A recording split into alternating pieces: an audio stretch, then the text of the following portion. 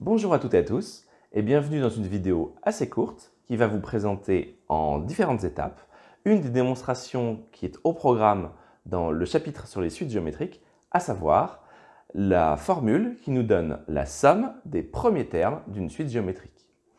Euh, nous allons étudier dans cette vidéo cette démonstration pas à pas. Ce que je vous propose, c'est que je vous guide en vous posant un certain nombre de questions. Nous mettons la vidéo en pause pour vous laisser le temps d'y réfléchir et de répondre à chaque étape ensemble de façon interactive. Et on avance progressivement dans les différentes étapes.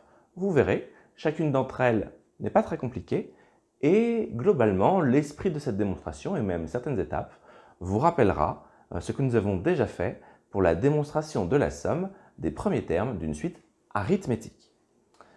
Commençons donc, euh, si vous le voulez bien, par écrire la formule et la propriété que nous avons à démontrer.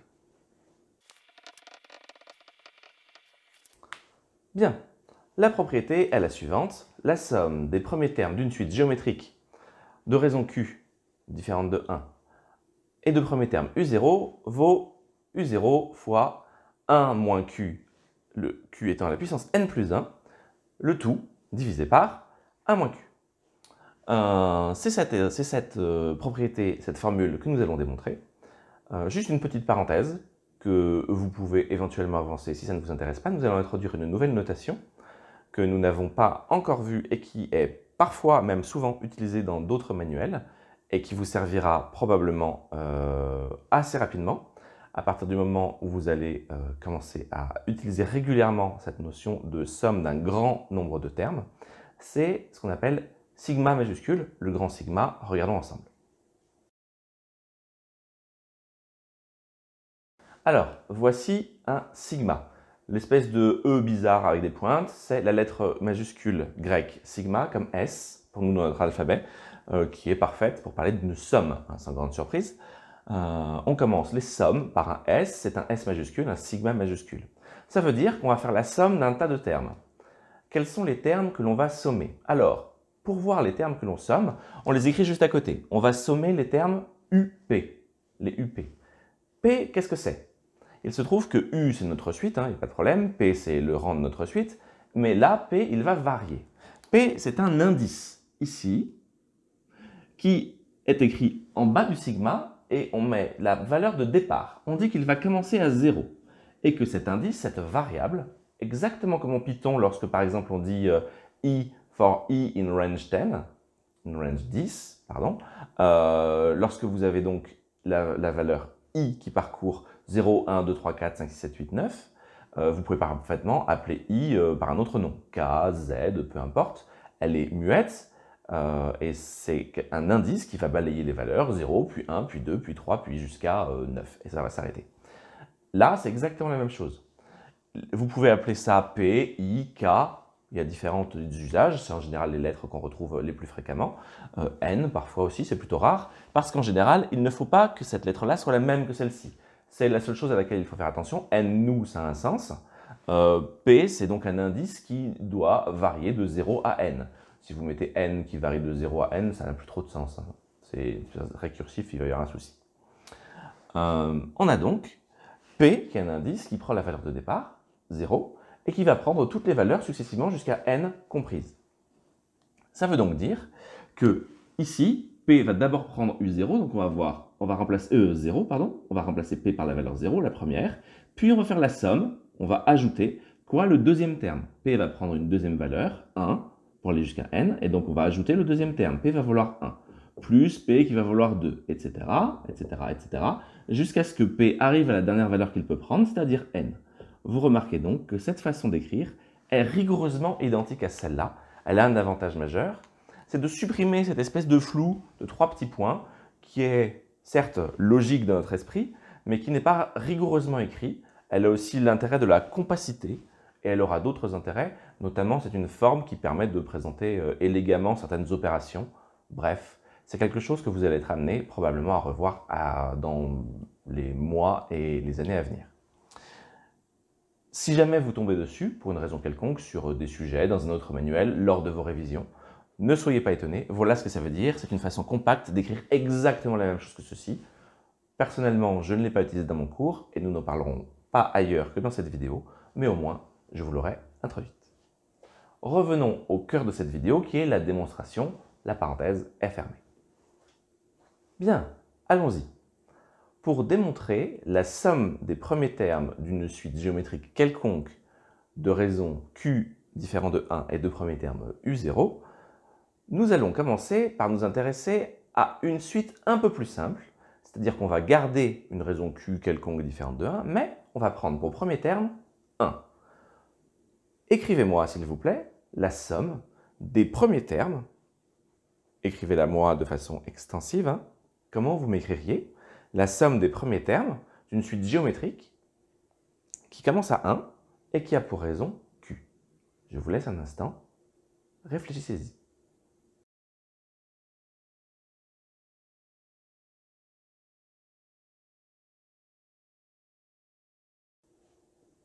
Bien. Cette somme, on va l'écrire comme on l'a fait un peu pour les suites arithmétiques. On va prendre un grand S pour somme, et on va dire qu'on prend le premier terme, je viens de vous dire que c'était 1, c'est le premier terme de notre suite, puis le deuxième, puisque la raison est Q, on va multiplier 1 par Q, 1 fois Q, bah, ça donne juste tout bêtement Q, puis le troisième terme, celui de rang 2, ce sera, on multipliera à nouveau par q, qui donnera q carré, etc., etc. Donc vous voyez que là, j'ai le premier terme, fois q pour le deuxième, fois q pour le troisième, et j'en fais la somme de tous ces termes. Ce n'est pas juste énumérer les nombres de la suite, mais c'est les ajouter tous entre eux. Et je vais m'arrêter à q puissance n. Voici une écriture de la somme des premiers termes d'une suite géométrique particulière de raison Q et de premier terme 1. Question, combien y a-t-il de termes dans cette somme?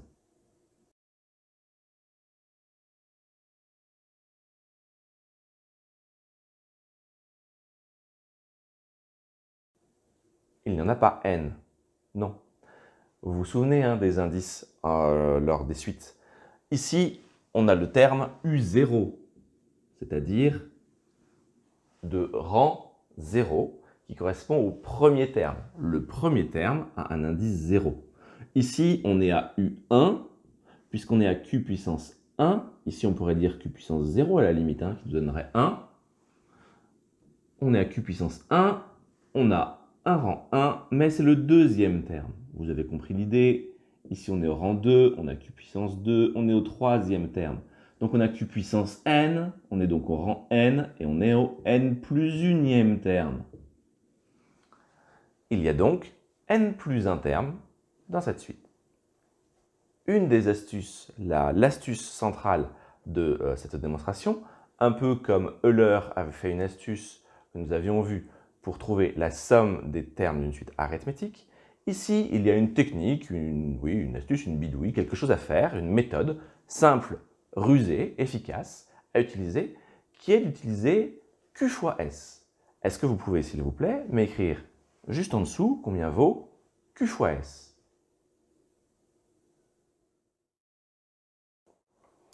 Bien, Q fois S, c'est simple. Si on multiplie toute la somme, on va multiplier chacun des termes de la somme. Donc, on va faire, pour avoir Q fois S, on va avoir Q fois tout ça qu'on peut développer qui donnera 1 fois Q, ben, Q, Q fois Q puissance 1, Q puissance 2, Q fois Q puissance 2, Q puissance 3, etc. Plus Q puissance N plus 1. Parfait. Voici qui répond à notre question. Maintenant, à quoi cela sert-il d'avoir utilisé Q fois S? Eh bien, ce que j'aimerais que vous fassiez, c'est que vous m'écriviez juste en dessous la différence entre la première et la deuxième ligne vous prenez la première ligne et vous soustrayez la deuxième ligne. Je vous laisse un instant. Qu'est-ce que ça donne?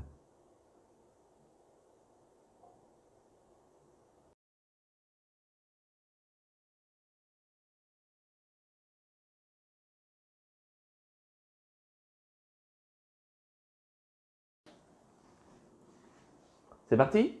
Alors, S moins QS, qu'est-ce que ça donne? La première ligne moins la deuxième ligne. Eh bien, vous avez dû remarquer qu'il y a plein de choses en commun entre ces deux lignes. C'est-à-dire qu'ici, il y a q puissance 1, ici, il y a q puissance 2, ici, il y a q puissance 3, et quelque chose que je n'ai pas écrit, mais qui va nous être utile, juste pour bien comprendre comment ça fonctionne, juste avant q puissance n plus 1, il y a bien sûr q puissance n, qui se retrouve ici et là. J'espère que ça c'est clair pour tout le monde.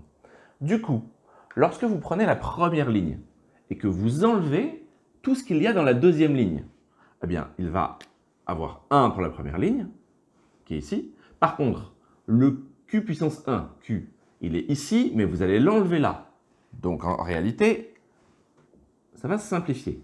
Le q puissance 2, il est ici, mais vous allez l'enlever là. Le 3, il est ici, mais vous allez l'enlever là, etc.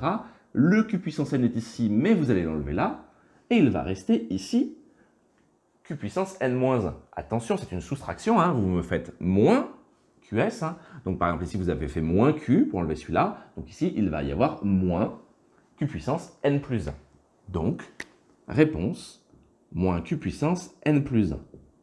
Vous comprenez pourquoi on utilise cette méthode, cette stratégie, cette astuce, puisque ceci donne quelque chose de très compact, simplifié, idéal.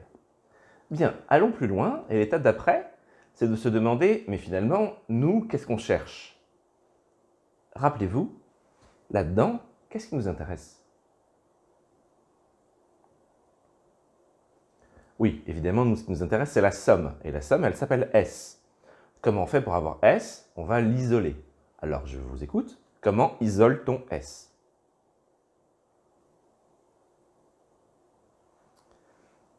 Alors oui, ici, on va évidemment mettre en commun pour ne plus avoir qu'un seul S. S'il y a un S, ici il y en a moins Q des S, donc je vais factoriser par S et je vais obtenir 1 moins Q fois S.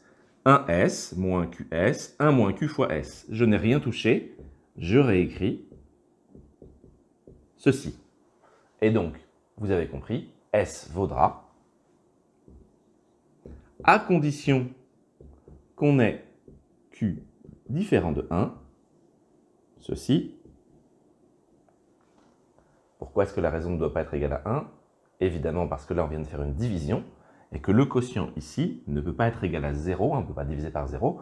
Donc Q peut prendre toutes les valeurs sauf 1. Bien. Ici, nous avons trouvé la formule de la somme des premiers termes d'une suite géométrique particulière, une suite de raisons Q différente de 1 certes, mais de premiers termes définis égale à 1. Ce n'est pas tout à fait ce que je vous avais promis comme démonstration, et d'ailleurs vous voyez par rapport à la formule qu'il y est en haut à euh, droite de votre écran, ce n'est pas exactement la même. Nous n'avons donc pas tout à fait terminé. Comment est-ce qu'on va bien pouvoir passer de notre cas particulier au cas général? Quelques instants de réflexion, le temps pour moi d'effacer un peu le tableau.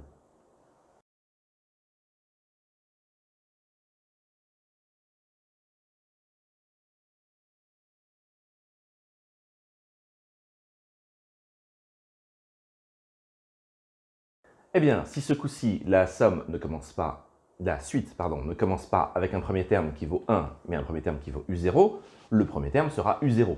Le second sera U0 fois la raison. Donc vous voyez, on aura U0 multiplié par Q. Plus le terme suivant, U0, on multiplie encore par Q, plus Q carré, plus etc.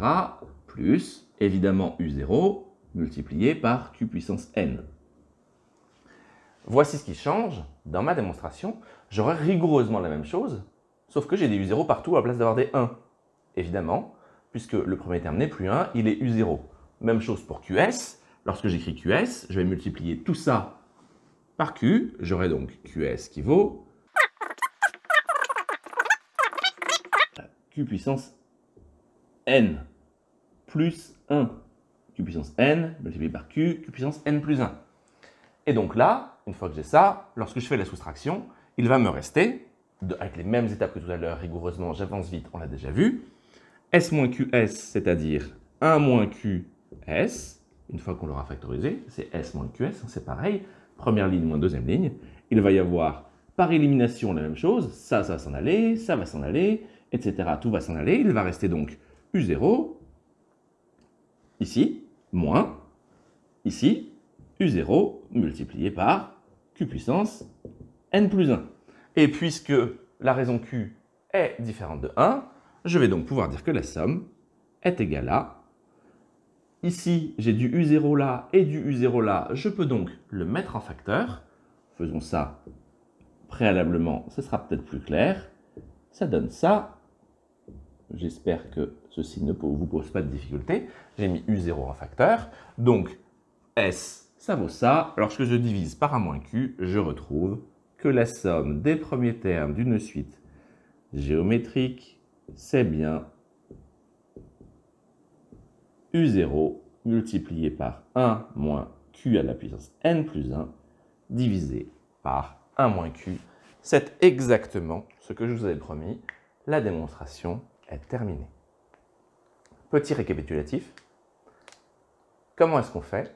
On écrit la somme des termes, on écrit Q fois la somme des termes, on enlève la deuxième ligne à la première, on fait la soustraction S moins QS, on factorise pour obtenir 1 moins Q fois S, et on divise par 1 moins Q à la condition que Q soit différent de 1, qui est la condition de notre cours pour laquelle la démonstration fonctionne.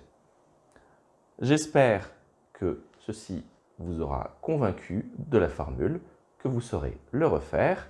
Je vous la laisse digérer et nous nous retrouvons très bientôt à bientôt.